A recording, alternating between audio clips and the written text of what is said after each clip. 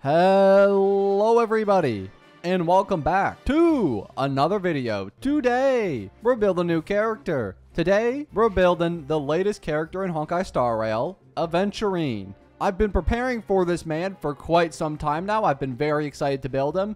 And today I'm hoping after building a successful Aventurine, maybe he can help us beat some of the harder content. But with that all being said, let's get into building our blonde egoist, Aventurine. Also, if you're not already, make sure to subscribe to the channel. We're trying to hit 100,000 subscribers. And when we hit it, we're going to be doing a big giveaway. In fact, we're going to be giving away one big Oneiric Shard Pack. So, if you haven't already, make sure to subscribe to the channel, and let's get in to building our Aventurine. Now, before we get to actually building him, let's discuss his kit. Because I believe if you don't understand the fundamentals of a character's kit, then you can never know how to build them. However, if you already understand his kit and you've already heard me explain it, then you could skip to this point in the video. That will take you past the kit review and into the main build section of the video. But for all those still here with us, let's talk about Aventurine's kit. The first thing we're going to talk about is his technique, which we can use outside of battle, and it will give us one of three random effects. These three random effects are going to give us different defense percent buffs. The highest one being Pouring Rain, which will give us a 60% defense increase on all three of our characters when we enter battle. So we're going to enter battle here, and as you can see, all three of our characters have a little defense percent buff. Now, at this point, we're going to talk about his follow-up attacks because the enemies are going to start attacking us. And as you can see, we're going to start racking up points there in the bottom left-hand corner.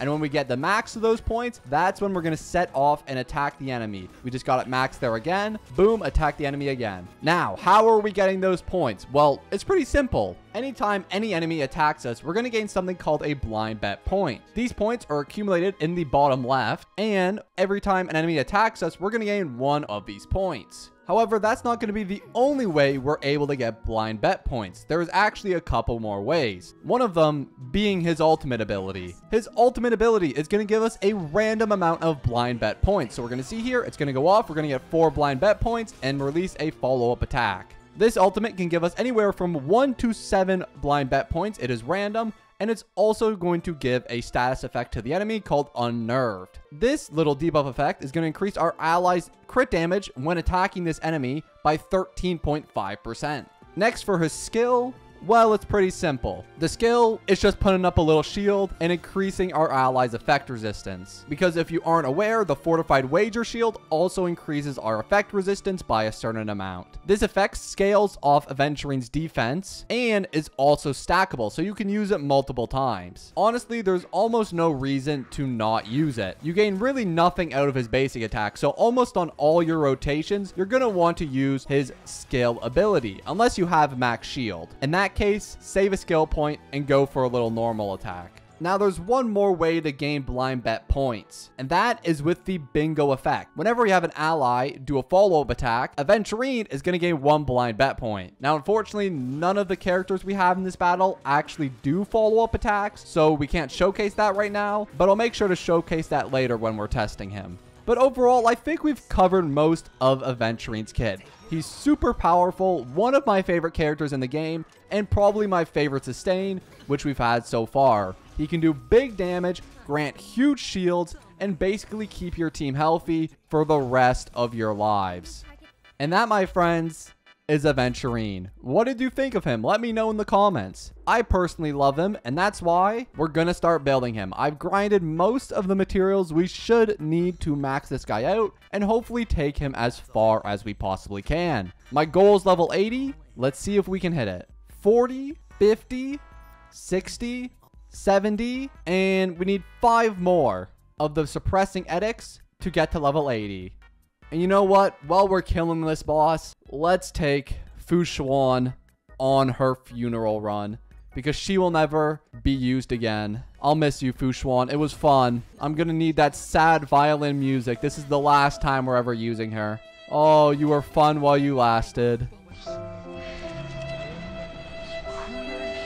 Poor Fu Xuan. She tried her best, but in the end, it just doesn't matter. Because Aventurine is replacing her on all my teams. Anyways, let's get his final ascension.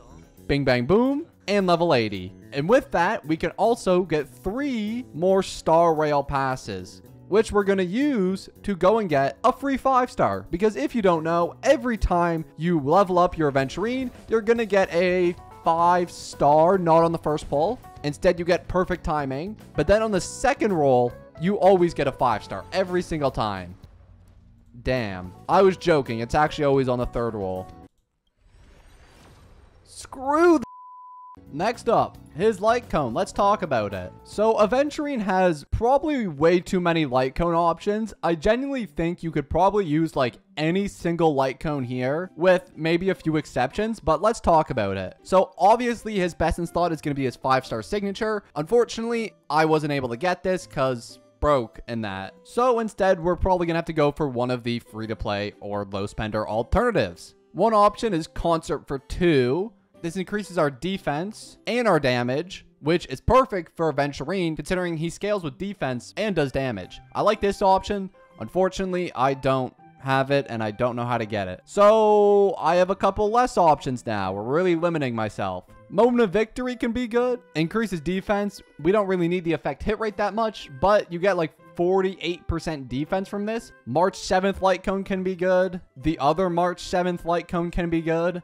Destiny's Threads Forewoven can honestly be good. There's so many good options. I think my highest recommendation for any free-to-play player would definitely be this Concert for 2 Light Cone though. But for me, I don't have that. So instead, we're going to continue Fu Xuan's funeral run and take Moment of Victory off of her and put it onto Aventurine.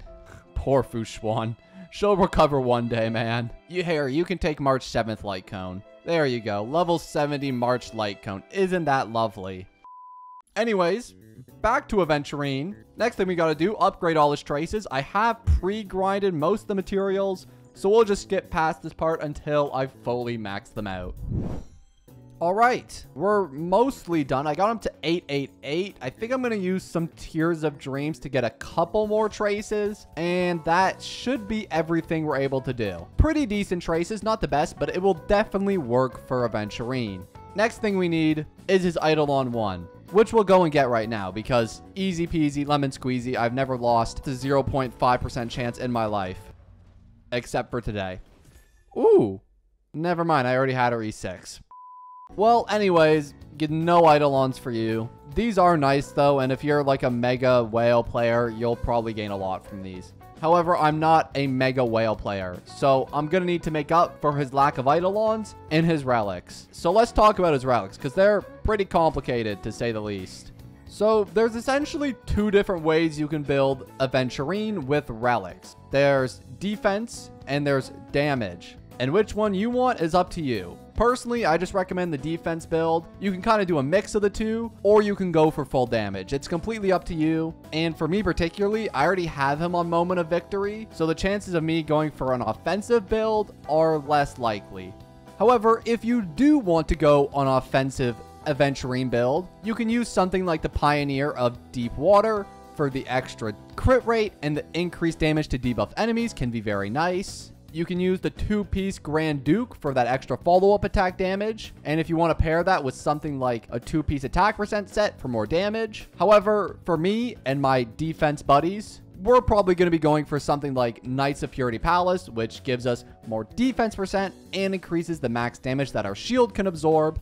Or you can go like a two-piece of that and a two-piece of something else. A two-piece Messenger of Traveler Hackerspace for more speed, a couple good options there, but those are the ones I generally recommend. For planar ornaments, I think his best in slot, or my personal favorite, is Broken Keel, just because of the sheer amount of effect resistance he gets from his traces. However, some other good options include Penacony Land of Dreams for the energy regeneration, or Inert Salsotto for that extra follow-up attack damage. And that's about every set I recommend for Aventurine. As for what I have, well, Let's start with his body. So for his body, you're generally to want crit damage. He already gets a ton of natural crit rate, especially from this leverage trace, which gives him an upward of 48% crit rate if you're able to max it out. That's, of course, if you're going offensive build. If you're going defensive build, then you probably want defense, which is what I'm doing because I need shield even though I have like no defense bodies. Well, luckily I have this one and the Knights of Purity Palace set. Surely it's got to be something good. Okay, one break effect, one crit rate. Another crit rate, actually not bad. Three crit rate. Ooh, okay, that's that's decent. That's decent. We'll put that on Aventurine. Now for our boots, we definitely want another defense percent piece. I like this one. Let's see if we get some crit rate and damage on this piece. Ooh, okay, one of each. One more, come on. Dang, defense. Okay, not the worst piece ever though. We'll definitely still take it. I guess we'll just finish it off now by getting a hat and some gloves. We basically just want the one with the most crit stats and defense percent as possible. Ooh, one defense, one crit damage. I like that. Let's get it again. Damn it. Damn, effect resistance. Ugh, kind of crap. I guess we'll use it though. And then now we just need a hat and Gepard. You will never be seeing this piece again. Unlucky.